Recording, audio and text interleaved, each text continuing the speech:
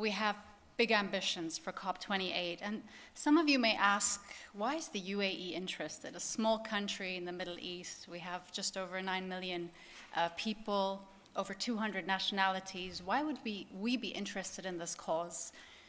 We are extremely committed and we take this very seriously. And actually, we have been on a journey already to combat the climate crisis for many years.